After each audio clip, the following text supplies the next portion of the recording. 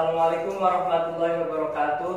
Kami dari kelompok 8, saya Muhammad Nasikuddin. Saya Dinda Febrianisa. Saya Ananda Aulia Rahmah. Saya Faditul Afra. Saya Abdul Falguni. Di sini kami akan mempresentasikan mengenai implikasi pemasaran syariah di UMKM. Selamat menyaksikan. Jadi sebelum kita bahas lebih dalam tentang materi kita hari ini, kita harus tahu dulu dong apa itu pemasaran. Jadi, Philip Kotler mendefinisikan bahwa pemasaran adalah proses sosial di mana individu dan kelompok mendapatkan apa yang mereka butuhkan dan inginkan melalui penciptaan, penawaran dan pertukaran barang dan jasa yang memiliki nilai tertentu dengan individu atau kelompok yang lain dengan bebas. Sedangkan pemasaran syariah memiliki nilai-nilai tertentu dengan individu atau kelompok lain yang sesuai dengan kaidah dan tuntunan yang ditetapkan oleh syariat Islam. Jadi kita kemarin udah interview kan ke Idris Delima. Coba deh Dinda ceritain ke aku sama Nanda gimana sih menurut kita ownernya.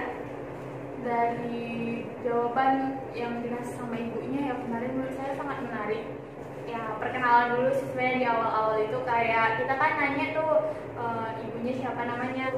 Ternyata nama ibunya itu Opia. Banyak sekali ya pertanyaan dari kema- dari kita kemarin hmm, apa tentang bagaimana sih ibunya menerapkan eh, pengrekrutan. Menurut saya eh, sangat syariah ya itu menurut saya karena eh, intinya dari kemarin itu kayak ibunya itu dalam pengrekrutan tidak ada perkhususan karyawannya itu harus sholat di tempat tepat pada waktunya kayak gitu Dan menurut saya sih sangat syariah ya Promosi pas lagi musimnya kan ya. Terus pasti ada promosi-promosi. Yang menarik sih. Ya kalian juga lupa ada promo pembelian dua itu dapat satu kupon Oh. dan satu kupon itu nanti diundi kalau nggak salah di akhir bulan ini. Nah, ngomong promosi nih kan promosi itu kan ada dari sosial media ataupun secara langsung. Nah kemarin juga kita tanya kayak gitu, katanya ibunya sih kalau masalah sosial media itu kurang begitu, tidak begitu aktif atau apa ya paham sekali. Lebih banyak itu melalui offline. Apalagi hal yang menarik menurut kalian tentang interview kemarin lah kita tanya dengan ibunya tuh. Kalau menurut saya sih omset 1 juta per hari dan itu habisnya 200 cup hampir 200 cup kalau rame. Itu menurut saya lumayan bagus untuk UMKM. karyawan-karyawannya sih. Beliau luar biasa dengan kepercayaannya beliau kepada karyawan-karyawannya gitu. Padahal kalau kita pikir-pikir waktu itu masih kecil, berarti masih masih labil, bisa buat kesalahan, bisa buat apa. Tapi kok beliau dengan mudahnya mempercayakan pekerjaan itu ke para mahasiswa dan bisa bikin besar karyawan kita mahasiswa. yang ngomong-ngomong tadi masalah promo juga kita dapat bocoran nih bahwasanya setiap bulan puasa itu ibunya nyediain takjil. Oh iya, Jadi aku pernah itu, loh. Nah, kita aku juga selaku konsumen juga bisa jadi aku juga pernah beli di situ dan itu emang ya belum belum tahu sih kalau ada takjil kayak gitu nggak pernah. Dan itu kan sangat menguntungkan ya bagi kita. Tapi kalau di Ramadan ini takjilnya berapa ya? Nggak nggak banyak banyak banget. Nah, nanti, dibahas, lah. nanti dibahas di konsumen. Oh iya, ini kalau bulan kemarin nggak sih? Aku tuh emang sering belanja di situ kan, sering banget beli di Iya. situ. Nah biasanya kalau ada snack-snack ringan, tau nggak sih? Cemilan-cemilan itu yang bungkus-bungkusan besar, Oh, iya. yang kiloan. Nah ibu gitu pasti taruh di toples dua apa tiga toples. Jadi nanti kalau kita nunggu di depan situ, Pak, adanya apa? Yang bojis itu pasti bilang, Mbak makan aja, ini gratis. Ya udah, kayak gitu. Nah, nanti kita tanya-tanya lagi tentang masalah yang pelayanannya seperti apa, baikkah, ramakah, atau seperti apa ntar. Eh, apalagi sih yang menarik dari owner yang kita bahas, eh yang kita tanyakan kemarin. Oh iya, kemarin juga itu kalau mereka lagi promo Dan dari wawancara kemarin itu kalian ibunya tegas atau emang baik hati itu seperti apa sih dari sanksi-sanksi yang diberikan pada karyawan dari ya dari peraturan bisa dibilang seperti itu peraturan itu menurut kalian gimana? lebih ke tegas sih kalau. Tegas dalam hal mendidik ya mesti dari segi kejujuran, tepat waktu, Buat waktu siap paling. dan menghargai, saling menghargai. menurut kalian nih kesimpulan yang bisa kita ambil itu apa? kesimpulan dari kita dari awal perekrutan terlihat sekali syariahnya memang tidak ada pengkhususan tapi ibunya itu memiliki kriteria sendiri. Jadi gimana ya brosur seperti rekrut karyawan tapi dia tidak ada istilah seperti harus Islam Nah, harus kayak gitu harus Islam. Itu tidak. Tapi ibunya memilih. Tapi saya sangat tertarik ya karena apa? Karena eh, mulai dari segi promosi pengrekrutan dan lain-lain itu sangat memberi pe- pembelajaran untuk saya sendiri. Ibaratnya saya bisa jadi kayak usahawan seperti yang benar-benar menanamkan syariat Islam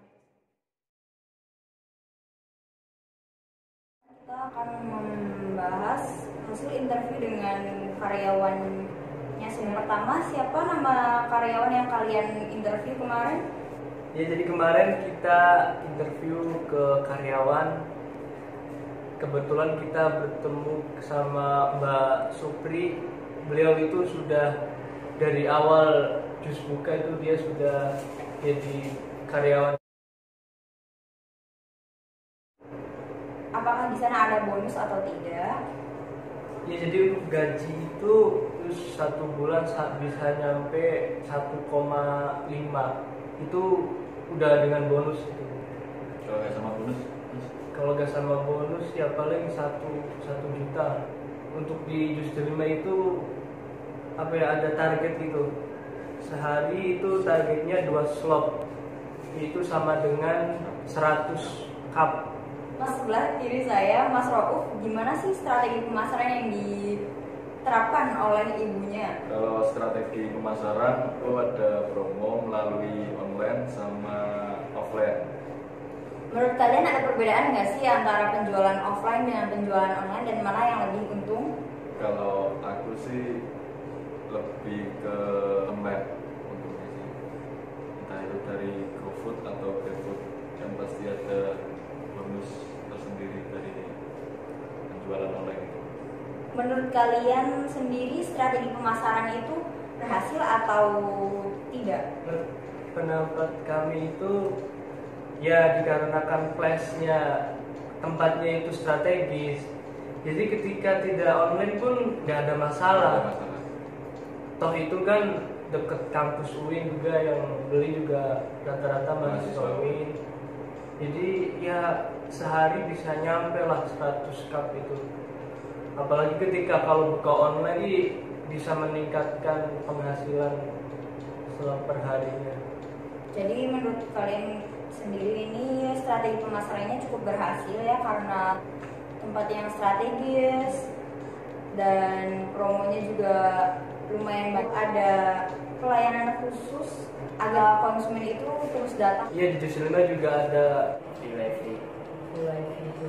tapi tempat duduknya itu kurang kayaknya. Iya. jadi tidak bisa untuk berlama-lama tempatnya kalau juga itu. antri juga kan kasihan konsumennya banyak yang sendiri. Itu sih kurangnya tempat duduk. percuma lah ada free wifi ketika tempatnya kecil gitu apakah ada komplain dari pelanggan Kebanyakan di buah jambu. Kan buah jambu itu musim hujan kan dia agak rusak gitu. Nah itu dia komplain ini kok rasanya nggak enak. Terus jadi dari owner itu jadi dia sebelum menjual ke konsumen buahnya itu dicoba dulu dan saat konsumen yang beli kemarin mendapatkan jus yang nggak enak diganti dengan yang jus yang baru dengan oh ya harga gratis Kalau menurut saya sendiri ya, kalau menurut saya sendiri sebagai pelanggan itu eh, pelayanan itu nggak terlalu diperhati. eh, gimana ya? lebih terasa ya Tidak usah perhatikan pelayanan kepada customer karena itu UMKM dan basisnya itu kayak harus cepat gitu. Nah kita tuh butuh minum, bukan buat berbasa basi gitu. Nah itu juga kan kita di situ cuma sekilas doang nggak buat nong- nongkrong-nongkrong kayak gitu cuma buat yang penting berarti kualitas jusnya ya ah iya yang penting kualitas jusnya harus diperhatikan terus promosinya juga harus dibanyakin menurut aku sih beliau udah berusaha sepupu beliau ya Jujur. untuk untuk menerapkan sistem-sistem syariah walaupun nggak tertulis Kalau menurut Mbak Nan, Mbak Nanda nih gimana? Menurut saya UMKM itu ada yang berbasis konvensional sama syariah kan? Nah syariah itu benar-benar menjunjung tinggi etika. Nah etika itu sudah seperti apa yang diajarkan oleh Islam etika yang baik-baik dan menjauhi yang buruk. Dan menurut saya untuk produknya itu semuanya insya Allah halal. Dan produknya itu nyata ya. Cukup terjangkau ya. Dan itu tuh benar-benar worth it gitu. Tempatnya strategis bijak baik adil itu. Semua bagi data tidak me, apa? Delegasi. Nah, tidak milih-milih orang yang mau dikasih banyak atau begitu.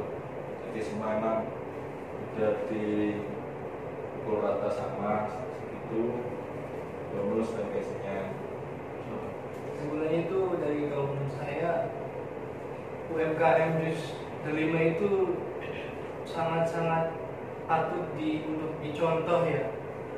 Karena kita lihat dari bagaimana karyawan itu bekerja bagaimana owner apa ya memperlakukan karyawannya itu kan terus juga bagaimana si owner itu eh, mengelola keuangannya jadi si owner ini benar-benar beliau mengambil keuntungan itu misalkan modalnya 100 ribu itu beliau tidak mengambil keuntungan 200 ribu atau 100 ribu lebih. Jadi beliau cuma ngambil secukupnya saja lah cuma 10 ribu atau berapa gitu.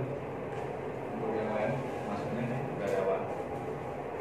Untuk gaji juga itu termasuk gede ya padahal itu cuma part time. Nah, mungkin eh, mungkin sampai di sini perbincangan hangat kita pada sore hari ini. Semoga bermanfaat dan bisa diambil kesimpulannya itu apa tentang eh, implikasi eh, per- pemasaran syariah itu seperti apa dan bisa diterapkan bagi teman-teman yang melihat video ini. Terima kasih dan wassalamualaikum warahmatullahi wabarakatuh.